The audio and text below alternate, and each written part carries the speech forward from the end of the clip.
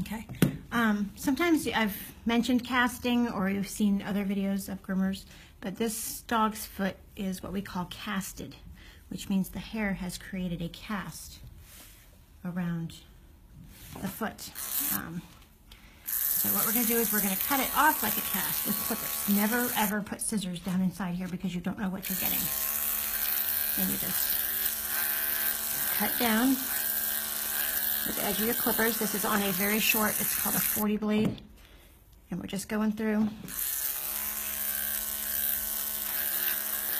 cutting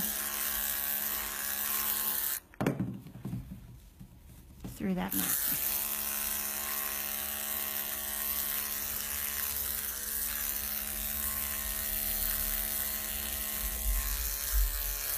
Once we break it apart, we can start cutting and I'm pushing on the mat, not on the skin. This reduces the chance of nicking the dog.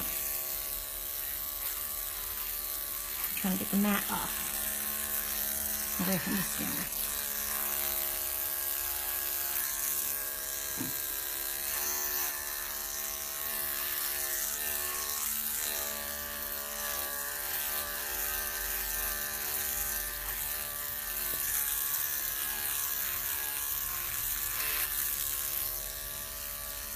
It's very thick, so it's hard for the clippers to break through it, but we're slowly doing it.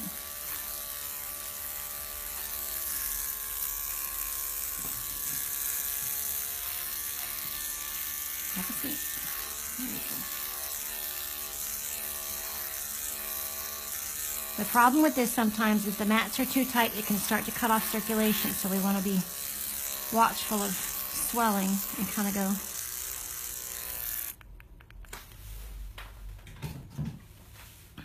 now that I've got the toes free, I'm going to trim those real quick.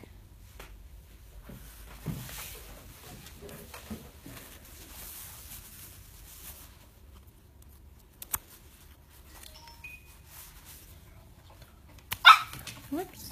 Hang on, I know. I know. This is totally uncomfortable.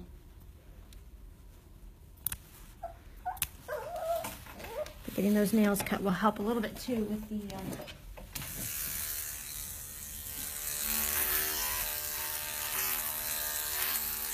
getting the matting loose.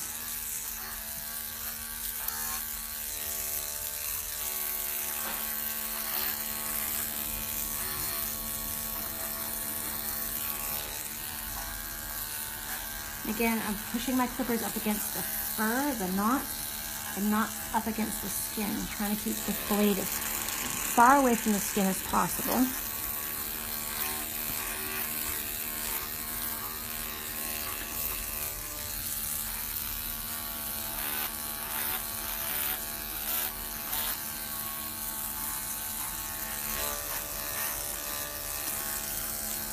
This part here is the tricky part because it's in between her toes.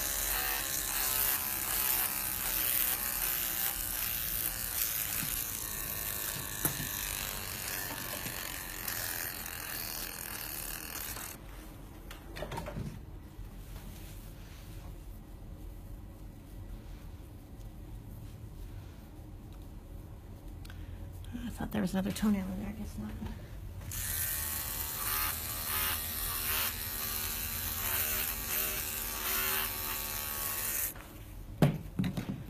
Now she's free. This was the cast. This was the inside of what was around her foot. And we got it off. Thankfully, no nicks or scrapes. Um, we'll wash the, the foot now and fluff it out, which will get this, this hair here away from the skin. That way we can clip it without hurting her skin.